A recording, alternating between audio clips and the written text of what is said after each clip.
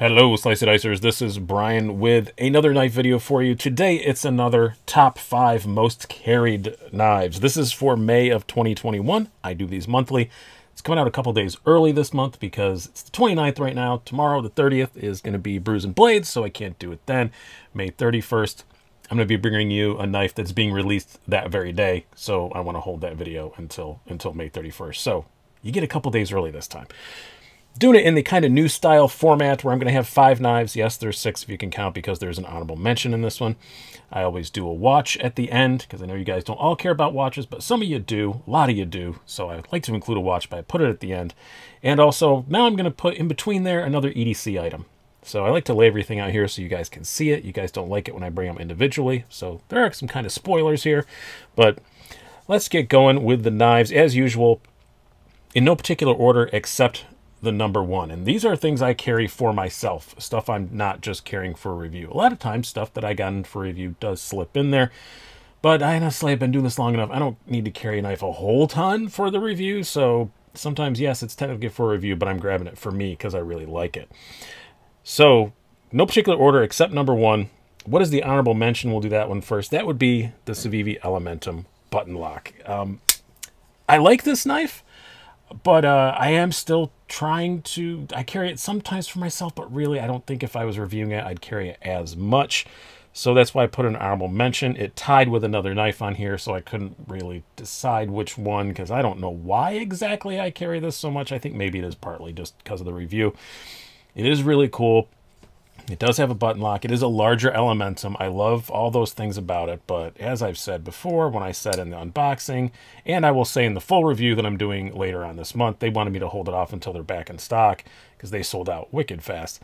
Um, it's only a button lock, and I don't love that. If it had a thumb stud, man, I'd be crushing all over this thing. And I know everybody says, well, you can't open it with the button lock. You have to activate the button lock to open it. So that's why it does a thumb stud. Okay, I still don't get really why they did the button lock method. Oh, only.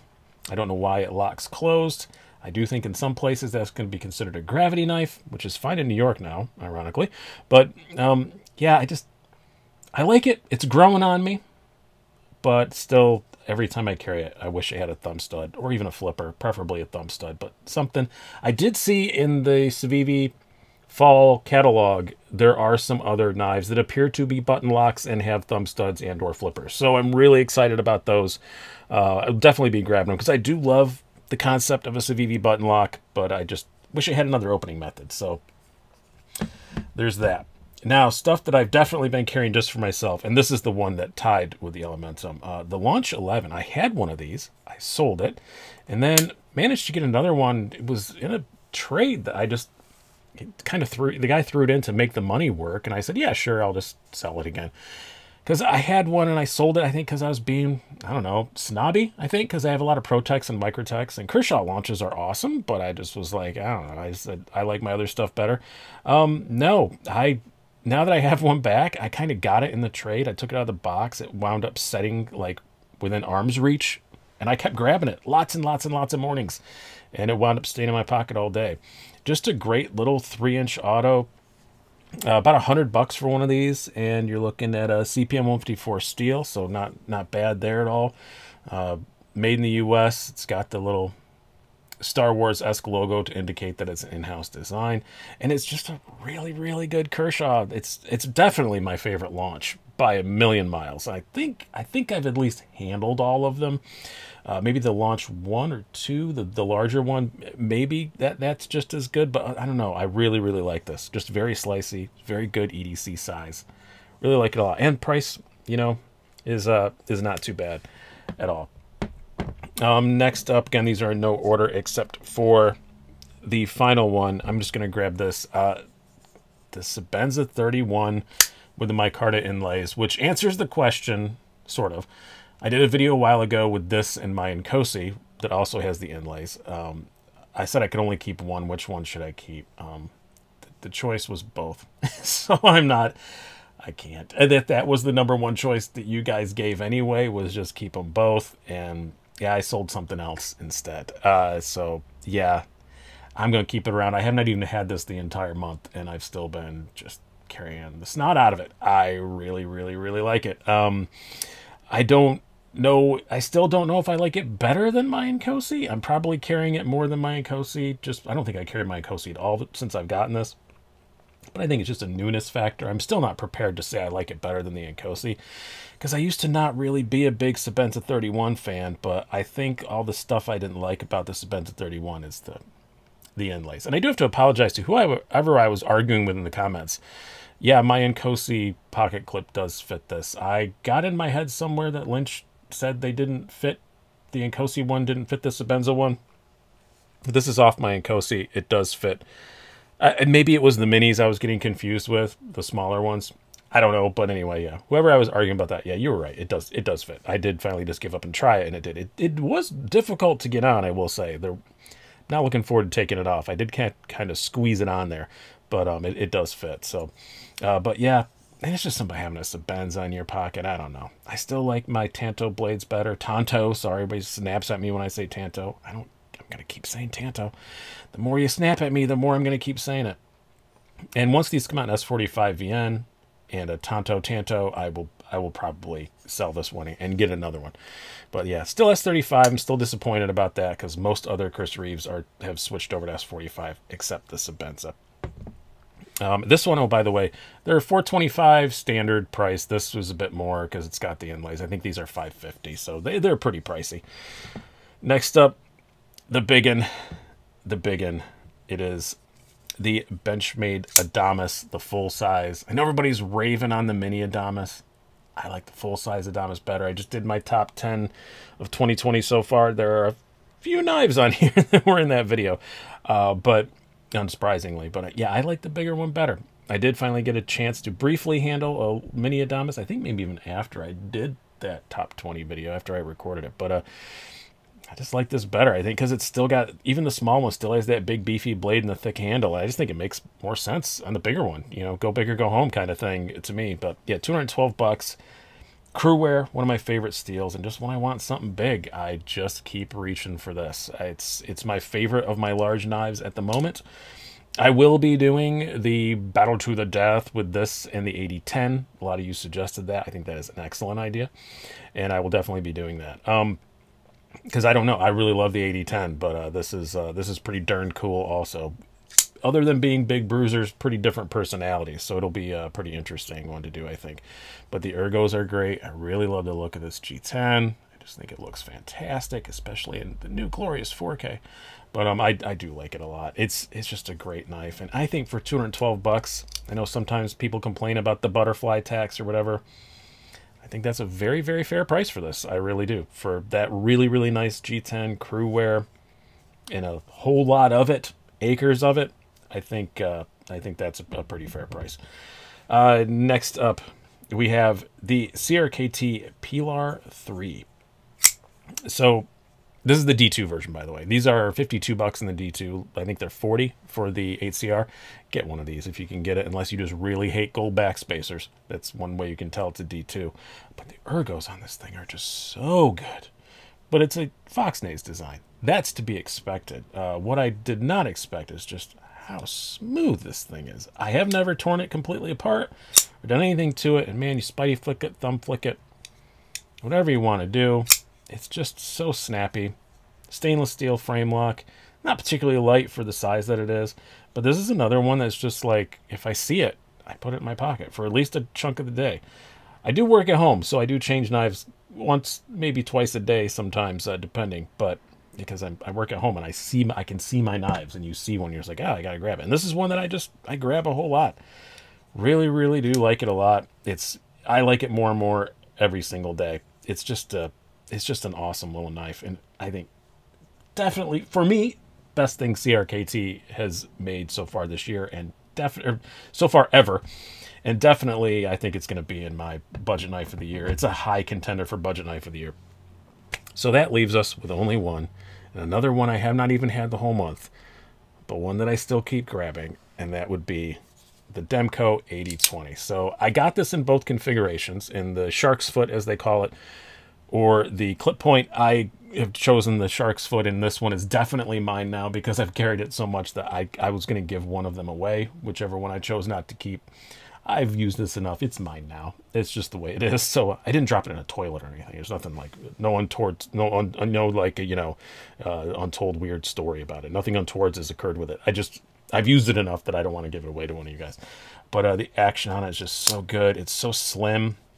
I really like it. Now this uh, shark's foot takes up a bit more room in the pocket, but it's still not enough to bother me. And I just love the look of this one. And again, I still don't know which one I prefer overall.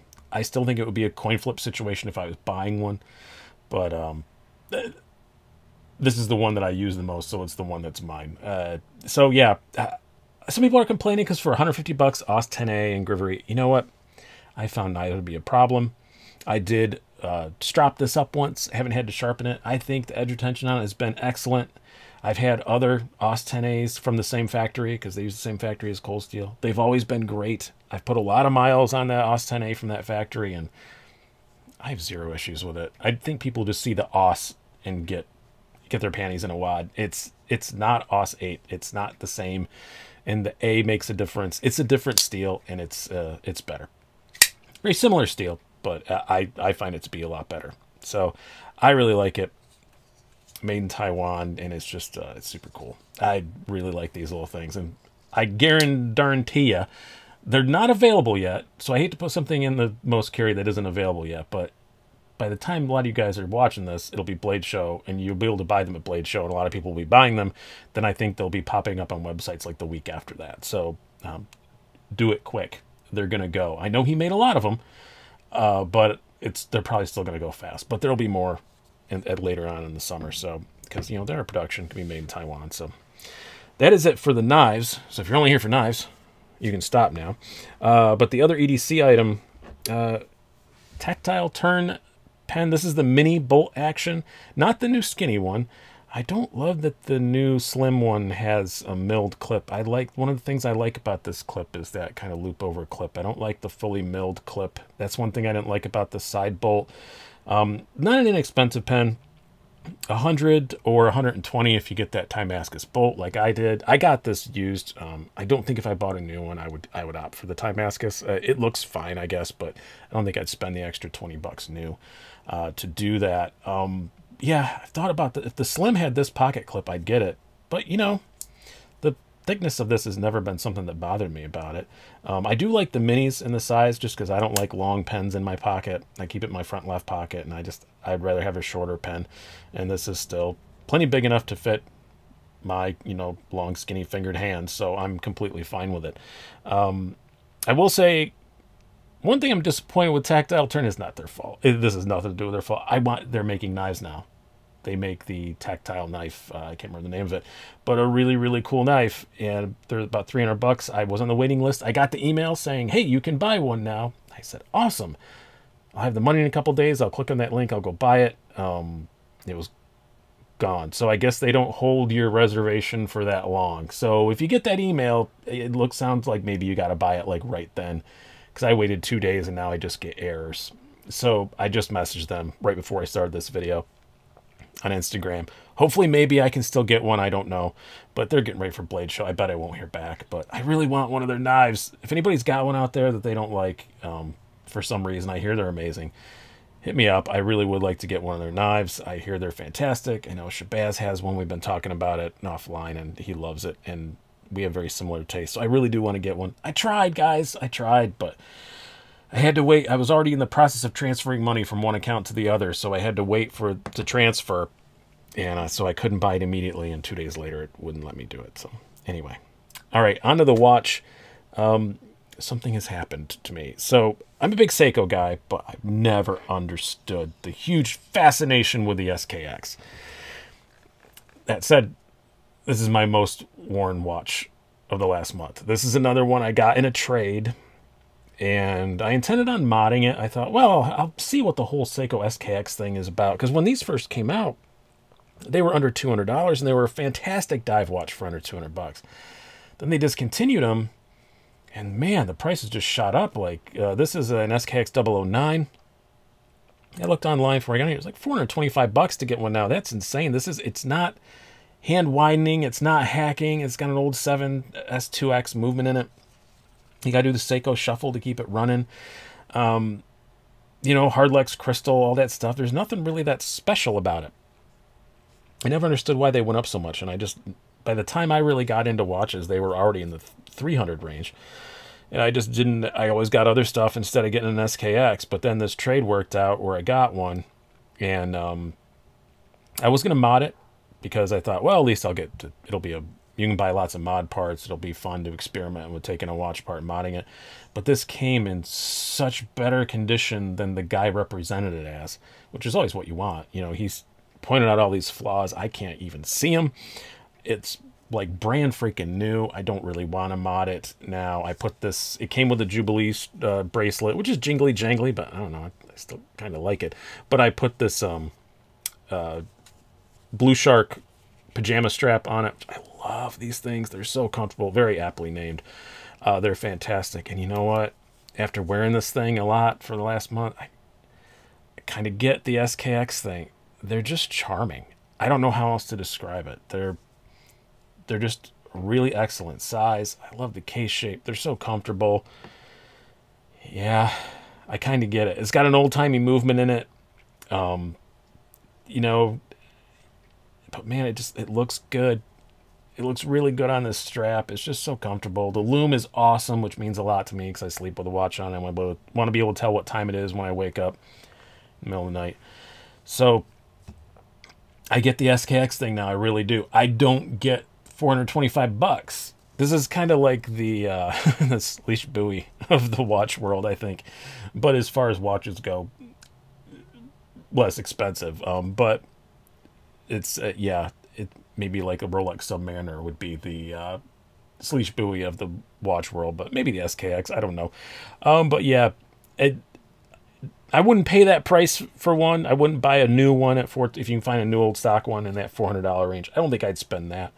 But if you can find a used one for a good price, or like me, get it in a trade where you get a really good deal, um, I, I totally get it. I get why people love them. It's not perfect, but it's just charming. And you can say it about a lot of Seikos. I mean, that's why I like. You could say that about me. Maybe that's why I have such an affection for Seikos. But uh, I hope you guys have enjoyed this. That wraps it up. This is a long one, but this is the format I'm going to try and do now: is uh, five knives and an EDC item and a watch. So hope you guys have enjoyed this. I've been Brian. Have a good one.